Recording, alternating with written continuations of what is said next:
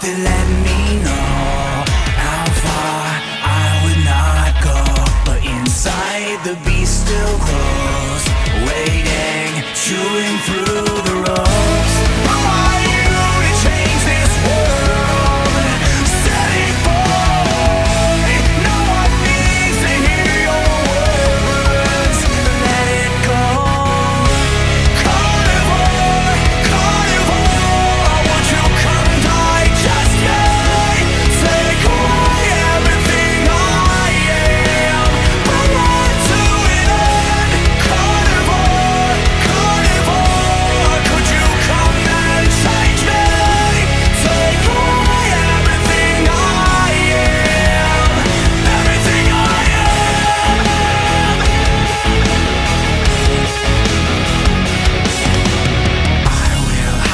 Myself